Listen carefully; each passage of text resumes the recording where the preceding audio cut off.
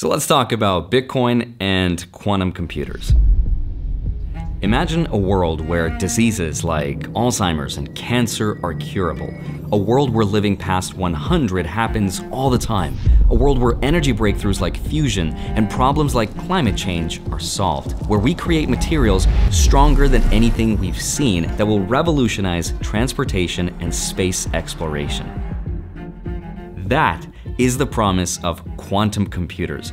Machines that are so powerful they can simulate nature itself and solve problems that would take today's fastest supercomputers longer than the age of the universe to solve. And with this promise, though, comes a huge risk. Quantum computers are not just going to rewrite the rules of computers, they're also going to rewrite all the rules of security. And that raises a lot of questions about things like what does that mean for people's investments? And one of the questions that I had is what's going to happen to all the Bitcoin now that quantum computers are so much closer to reality? Specifically, I'm talking about Google's new quantum chip called Willow, which was just announced. But first, let's go back to the basics. What are quantum computers? So, the computers that we have right now use what are called bits to represent a state of information in binary, which is either a 1 or a 0. But quantum computers use something called qubits, and qubits can exist in a state of what's called superposition, meaning they can both be a 1 and a 0 at the same time. And this property allows quantum computers to perform a huge amount of calculations at the same time, giving them exponential power for certain types of problems. Think of it like this a normal computer will try to solve a maze by trying one path at a time. A quantum computer will try every possible path at the exact same time to find the correct solution almost instantly. And it's not just faster, it's a completely different way of thinking about computation. That brings me to Google's latest breakthrough, the Willow quantum chip. Willow is now the most advanced quantum processor Google has ever built with major improvements over older chips like Foxtail, Bristlecone, and Sycamore. Now, when Google announced this latest chip, Willow, they started off by saying Willow just did something that was almost impossible arriving before Grand Theft Auto 6. No, that's not what they said. They said Willow solved a problem in under five minutes that would take the world's fastest supercomputers 10 to the 25 years to solve. That's a 1 with 25 zeros after it. Now, to put that in perspective, that is longer than the age of the universe. So, if this chip is as powerful as they say it is, the question is what does that mean for the safety of our investments? And what's gonna happen to all the Bitcoin. I want to help explain what this new Willow chip means for quantum computers, if this actually poses any real threats, and then I want to show you how I'm investing given this new information. So let's get into it.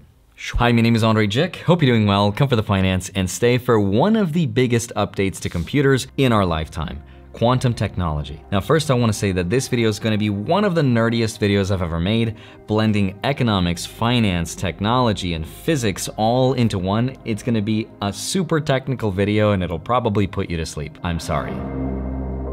For decades, we have talked about quantum computers.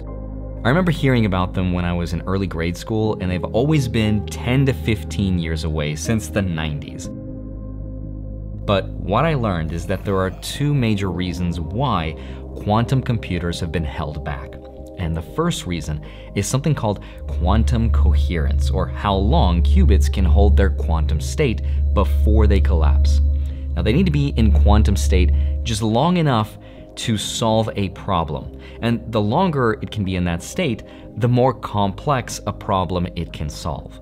Now, the second challenge is something called the critical error threshold. And that means the point at which error rates are low enough for us to trust the results of a computer. That means we need something called quantum error correction. Because without quantum error correction, errors are created faster than they can be fixed, which makes it impossible for us to trust the results of a computation. Now, how though does the system know that something is an error? And how does it even correct itself, right?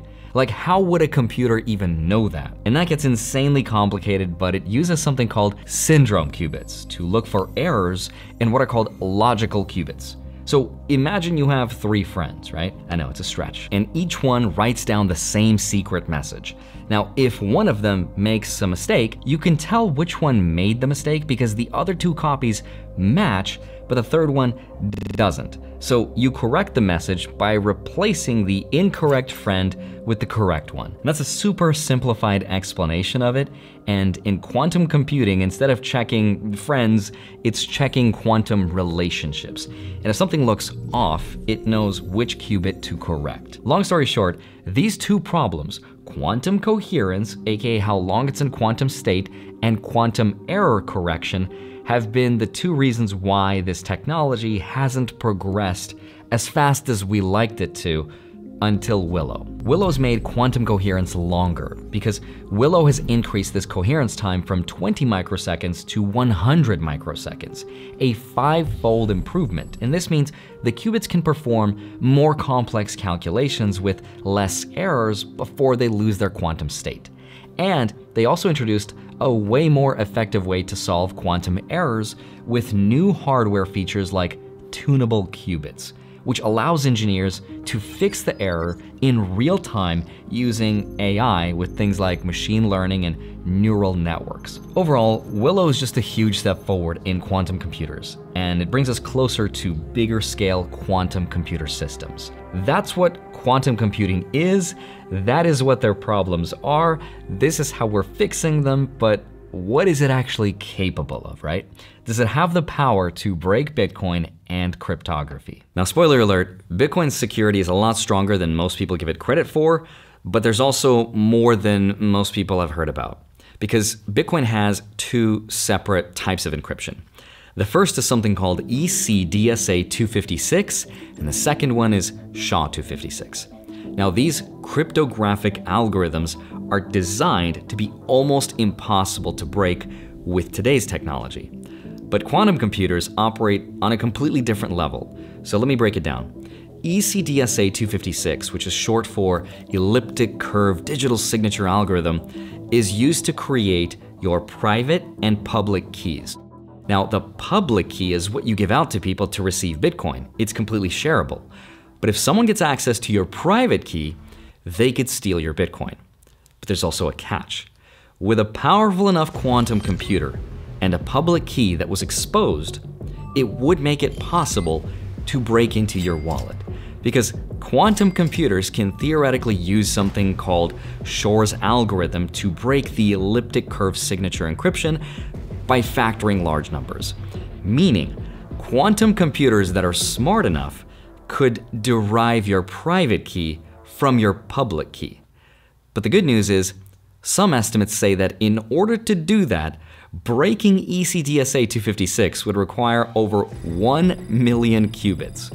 Now, Google's Willow chip, as advanced as it is, only has 105 qubits. And remember, there's also a second part to what makes Bitcoin safe, which is SHA-256, which is the backbone of Bitcoin's blockchain. Now, SHA-256 is a cryptographic hash function that takes any input and produces a fixed size 256-bit output. This output is like a digital fingerprint, and it's almost impossible to reverse engineer. Now, SHA-256 is also what's called collision resistant, meaning the chances of two different inputs producing the same hash are really, really low. Meaning the odds of you creating a wallet with the same private key as someone else is very, very, very low. Now, to crack SHA-256, a quantum computer would need to use something called Grover's algorithm, which theoretically speeds up the process by reducing the number of operations required to find a hash, but even with this quantum speedup, you'd still need to search through 2 to the 128 possible outcomes, which is a number so big, it's almost impossible to explain. But to put that into perspective, imagine that I was thinking of a single playing card in the deck and your job was to guess what I was thinking of. Except instead of thinking of a playing card, I would think of a grain of sand. And you'd be picking a single grain of sand, not just from one beach, but from every grain of sand on all the beaches of the entire world. What would be the odds of you picking the one that I'm thinking of? Technically, it's possible, but realistically, there's not a chance it would ever happen. But even that is more likely to happen than cracking SHA-256. That is how powerful Bitcoin's encryption really is. Some estimates say that it would take millions of error-corrected qubits to achieve this, which is far beyond what Willow or any other quantum computer is capable of doing right now. So yes, quantum computers are getting better, but they're still nowhere near the scale that they need to be to crack Bitcoin's private key encryption. But there is a catch. And the catch is that some people disagree on how many qubits are actually needed. And this is where it gets way beyond my pay grade, and my brain is just not big enough to understand this, but I'm gonna describe the problem anyway. Some people say that we actually need as little as 2,500 logical qubits to break SHA-256. And it's predicted that in the next 10 to 20 years, we will see more technological progress, and as a result, more wealth creation than we've seen in the last 100 years combined. And experts say this is going to result in some incredibly transformative investing.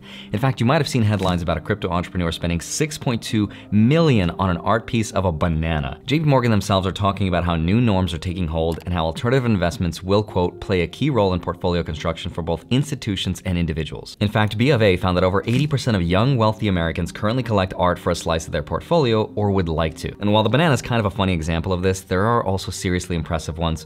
Like someone just spent $121 million on a single Magritte piece, and it's not even his most famous painting. Whoever the buyer is, they're not alone, because just in the next two years, art and collectibles are expected to make up roughly 11% of the portfolios of ultra high net worth individuals, and even in a softer cycle, we've now seen multiple record-breaking art sales just since my last video talking about this. In fact, I also diversify a small part of my portfolio with art, just like Ken Griffin, Jeff Bezos, and Steve Cohen, who spent a billion dollars on his collection. Except I didn't need to spend millions of dollars. See, Masterworks, today's sponsor, is allowing everyday investors to get in on multi multi-million dollar art investments like Banksy, Basquiat, and Picasso. I've been talking about Masterworks art investment platform for a while now, and I've invested alongside thousands of you. Masterworks isn't an exchange, it's not just an app, they're actively buying and selling iconic works around the world, and like I said, I personally hold a stake in shares of a Basquiat offering, and even better, Masterworks' most recent sale was actually another Basquiat, which sold for $8 million earlier this year after 1,398 days, and for every $10,000 someone invested in that piece, they took home over $2,600 in profit, even after fees. So if you'd like to diversify, you can easily sign up for Masterworks by going to the QR code or by clicking the link in the description. And now let's get back to it. So the rate of advancement is actually getting faster and faster thanks to these AI language learning models and quantum computers, which means maybe in the next 10 years, we will be able to crack all these algorithms. And at that point, what's gonna happen? And first, I just want to say the obvious that when quantum computers reach a point where they can break Bitcoin's encryption, Bitcoin would probably be the least of everybody's worry. Think about it.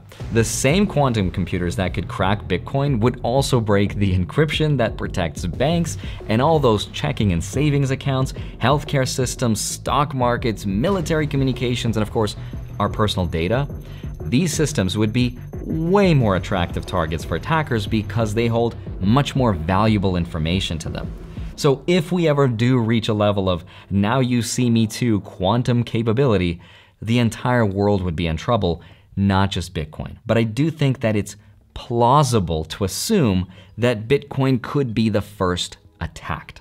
Because if a company has a powerful enough quantum computer, it wouldn't want to attack a bank or a country, that's kind of illegal. But a cryptocurrency that nobody owns just to prove a technological point, it's plausible. I don't think we should ignore that the potential is there. And this is something that I've thought about since I got into Bitcoin because quantum computing is not an if problem, it's a when problem. It will happen.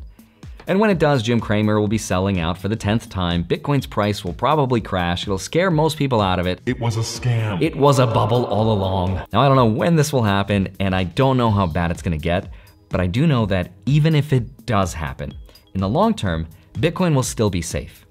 And the people that understand why will keep their Bitcoin. Unfortunately, most people will probably sell because they don't watch nerdy YouTube videos like this, especially all the way to the end, but Bitcoin will recover. And it's gonna do that because of what I'm about to show you in this next part. Bitcoin is future proofed and it was designed to be that way all the way from the beginning by Satoshi. And he even predicted this way back in 2010 when he talked about moving over to a new hash. And the way that Bitcoin can do that, by the way, is through an upgrade by what's called a hard fork. So you can think of it like a snake that sort of sheds its skin and becomes like new. Bitcoin is capable of doing that, and it has done that before in the past. In fact, in 2017, Bitcoin split into two different forks. Bitcoin and Bitcoin Cash. Now that's a separate video altogether. I can make that one. Let me know down in the comments below. But it was one of, if not the darkest time of Bitcoin's history. I was there, Gandalf, 3,000 years ago. If you had your Bitcoin on the blockchain when this happened, the fork produced an equal amount of both Bitcoin and Bitcoin Cash. So if you had 10 Bitcoin on the blockchain, for example, you would also get 10 Bitcoin Cash as well. I actually have proof of this because I still have 21 Bitcoin Cash that I never sold. I still have it on my ledger, but when all this went down, it was pretty crazy times. But what does all this mean, right? It means that the developers and the researchers right now are looking at quantum computer resistant cryptography. These algorithms that they're looking into are designed to protect against quantum attacks. So instead of using something like SHA-256, it'll be some other cryptographic model that quantum computers can't solve right now. Now, it's not gonna be as simple as flipping a switch and upgrading the firmware for Bitcoin. It's going to take the entire community and the whole network to agree, including miners, developers, nodes, users, investors, businesses, hardware wallets, everybody. But as users and investors of Bitcoin, all we have to do is nothing. Just hold the coins on the blockchain and try to use a new address every time you transact without revealing your public address. If you want to learn how to do that, I have a course that's over four hours long that teaches you step by step for beginners. You can use coupon code Andrei40 to get 40% off. That teaches you how to protect your coins and so much more. But the point is that Bitcoin can be future proofed and it can even be saved after a quantum computer attack. Hopefully, though, we're able to do this before quantum computers get good enough. Because at the same time, quantum computers do raise a lot of questions about everything else, like privacy and security and how do we protect our data and how do we make sure it's used responsibly? And does this prove we live in a multiversal universe? Because some people seem to think that the math verifies that we are living in a multi-universal world. It's a lot of really interesting stuff, so maybe refer to this video in 10 years when it happens, but let me know your comments down below. Do you think quantum computers will break Bitcoin or will the crypto community stay one step ahead? As always, I hope you have a wonderful rest of your day. Smash the like button, subscribe if you haven't already. I'd love to see you back here next week. I'll see you soon. Bye-bye.